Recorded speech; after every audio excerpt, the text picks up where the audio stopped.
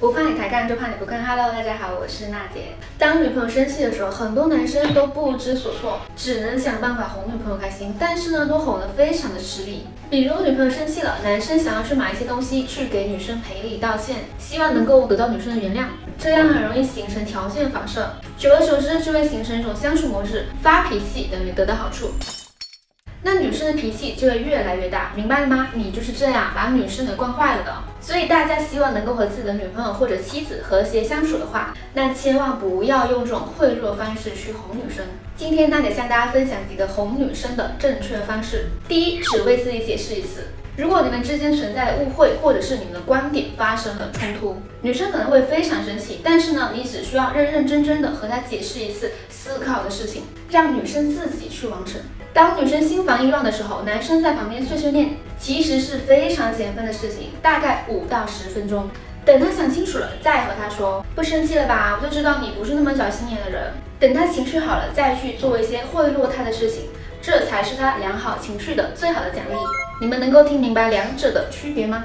一个是在他生气无理取闹的时候送礼物，一个呢是在他情绪缓和变乖了不闹了的情况下送礼物，这两者的区别是很大的。如果你是前者的哄法，那他以后啊只会脾气越来越大，越来越难哄。如果你是后者的做法，也就是娜姐教你的做法，久而久之能够培养出他平易近人、乖巧听话的性格。现在知道为什么你会把他惯坏了吧？知道的小伙伴，请把我错了打在公屏上。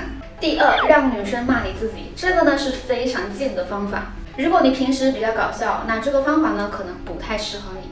举个例子，如果女生生气了不说话，你就可以说是哪个臭不要脸的惹我家宝宝生气了，你告诉我她的名字。如果女生这时候呢说出了你的名字，你就可以大声的跟她说，大声点，我听不见。如果女生并没有说出你的名字，你可以和她说，快说，我要撕烂她的嘴。女生肯定会说，赶紧去撕。这种方法呢，说白了就是通过玩闹的方式，把她从不好的情绪里拉出来。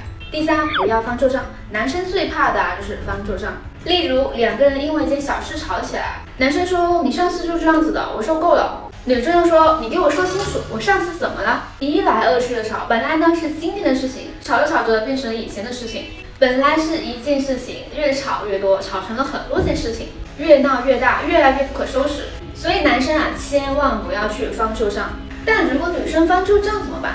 例如女生说你这个人怎么总是这样子？你上次也是这样子。这个时候呢，你要笑着对她说：对了，我上次是怎么哄你的？来来来，我们一起回忆一下好不好？学到了吗？记得点赞收藏起来哦，以后肯定会用到的。